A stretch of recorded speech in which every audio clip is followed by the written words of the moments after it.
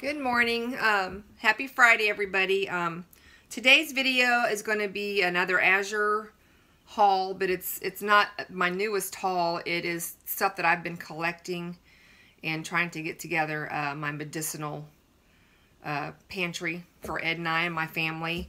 And so I thought you'd like to see what I've collected so far um, from Azure, Azure Standard, and their you know their brand, and then um, I think it's Starwest Botanicals and Oregon, something Oregon, I can't remember.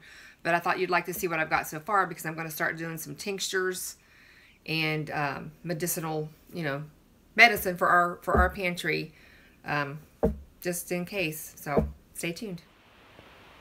Okay, here we go. This is the some of the medicinal dried herbs that I have collected. I've been collecting from Azure Standard um, for a few months now, and some I'll show you in jars here in a minute that I have grown myself. And, and some are just stuff from Azure too. But the first thing that we have here, let's see if I can, these bags are really shiny, so I hope it's not like blinding people, is alfalfa leaf. I have the Wild Harvest, which is the Oregon one. And most of these are a pound, pound bags. And alfalfa leaf from um, Azure Standard. Now the alfalfa leaf is good for like menstrual cramps, arthritis. Uh, it's good for high cholesterol.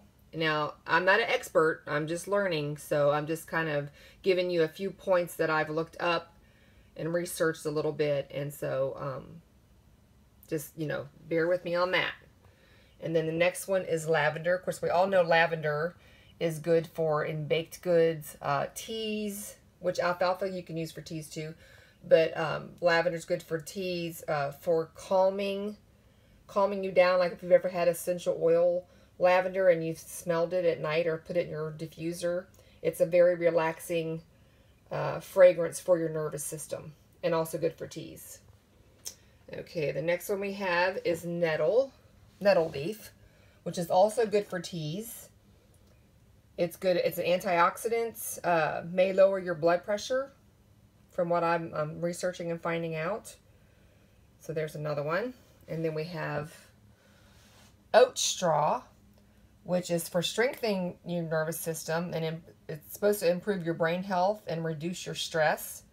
And I'm, you can put this in teas. Most of these herbs, I believe you can put in teas uh, in one way or another. Um, some might be just topical. We'll, we'll, we'll find out here in a minute. Okay, the next one over here is hibiscus petals. It's so beautiful. I have some in a jar I'll show you. But of course for teas, uh, high energy levels, and you can blend it with other herbs to make, you know, to make teas.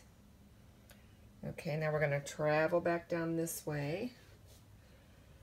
And this is rose hips. Uh, teas, obviously for making any kind of tea, blended with other herbs. It's really high in vitamin C. So there's that one. And that's also an Azure one. And most of these are organic which is great. And then we have rose hips. Oh, no, that's chicory root. Hold on a minute. Oh, I just did the rose hip. Sorry. now we have chicory root. I can focus on. I'm trying to hold this and read my points that I've written down. Uh, chicory root is good for loss of appetite, uh, constipation, liver and gallbladder disorders, and I believe you can actually use it in place of coffee, like your chicory root, you would like, you know, um, boil it to make coffee, like a coffee flavored drink.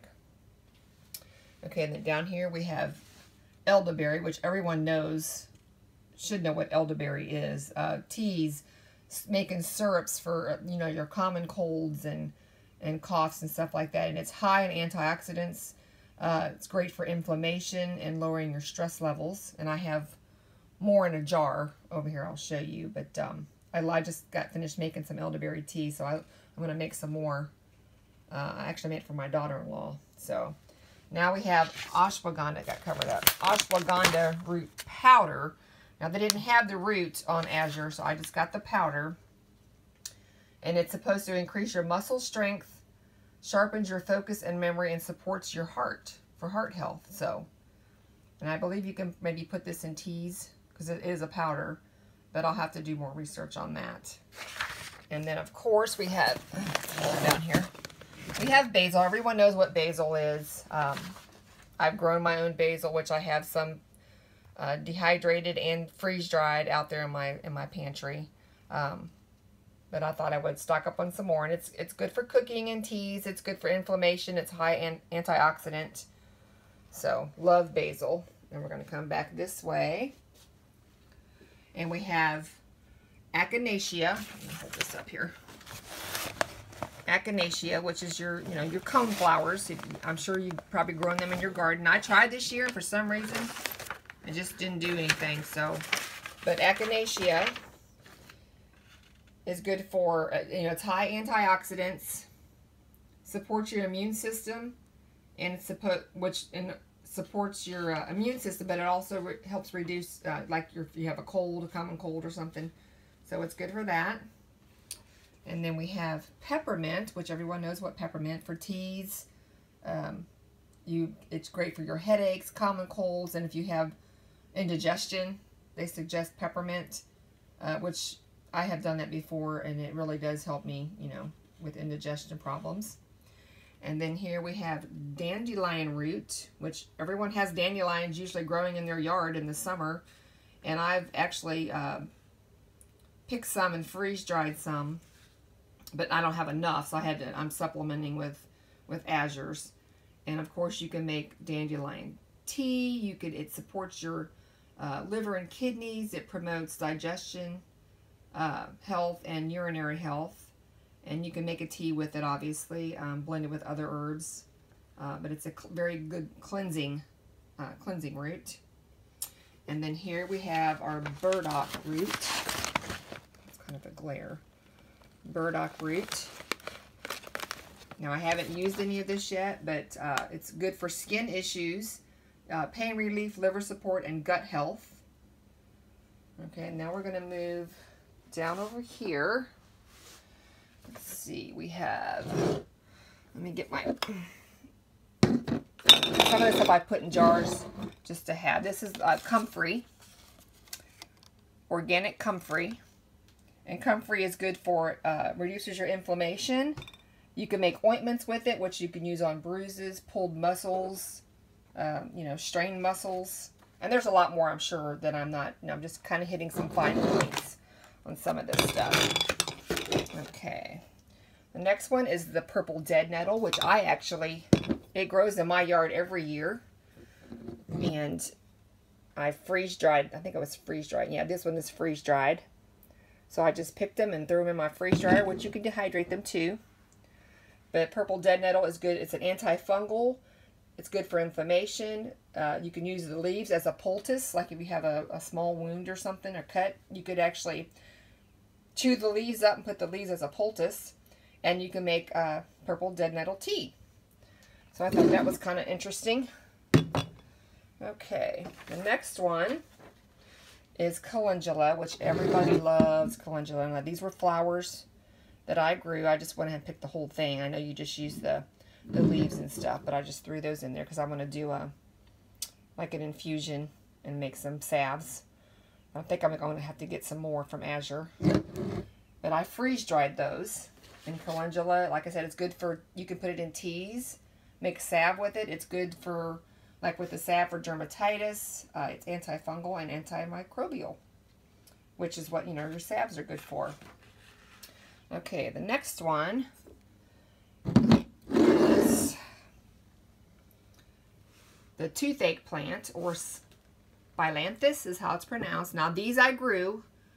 I didn't get very many, um, only because I just procrastinated and then it was kind of too late. So, but they're they're kind of interesting. Look in their little yellow balls, and um, it's actually good for. That's why they call it the toothache plant. It's a natural anesthetic. So if you have a sore gum or a toothache, you're supposed to take that little yellow ball and rub it on your gums and it will it will actually numb it. So I haven't tried that yet, but that's what that's what's said about it. So I thought that was kind of fun. Okay, the next one is marshmallow. This is the marshmallow root, and it's all, you know, it's ground up. This is how I bought it from Azure. And it's good for your respiratory system, digestive system, and skin health. So you can, you know, make teas with it, put it, like, make a blend with it and um, it's antibacterial and it's also rich in antioxidants. So, you know, God put all these herbs here for a reason. He put all these plants here for a reason. And I'm, I'm really, really researching and being so interested in making my own medicine. And then the last one, as far as, uh, is ginger root. Now I've bought organic ginger root from Azure and I, you know, washed it really good and I didn't peel it. I just sliced it up and then I freeze dried it, which you could also dehydrate it. But it's good for, you know, throw into your tea. I love ginger. It's probably one of my favorites. And it's good for inflammation, uh, anti-nausea if you're nauseated. Um, make a tea with it. And it's good for arthritis, from what they say. So, all right. So now I'm going to show you, of course, let's see. This is, uh, I've got these big gallon jars from Azure also. And this is my big jar of elderberries.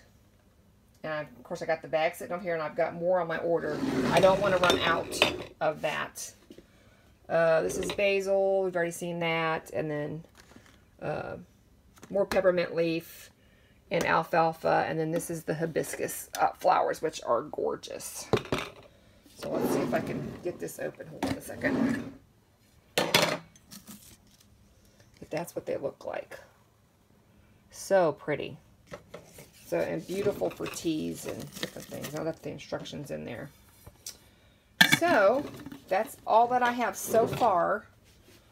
Um, as far as from Azure and stuff. I do have other things I like um, different basils and different herbs that I have grown and, and dehydrated and freeze dried them. And they're, but it's just too many to bring in here. So I hope you enjoyed the video. Um, give it a thumbs up and a like if you haven't already subscribed. Please subscribe. And stay tuned because I'm going to start doing some herbal medicine. Um, I'll probably start out with my elderberry syrup because I that's kind of like the most uh, common, I believe, that people do um, and it's pretty easy.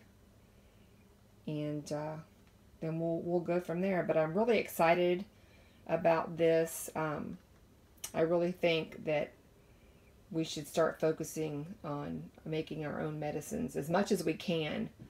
You know, for common colds and and sore sore muscles and all that kind of stuff for our immune system because I don't know the way this world is going. Um, it definitely, definitely uh, has put a fire, fire in my belly to really um, start taking care of myself, my husband, my family.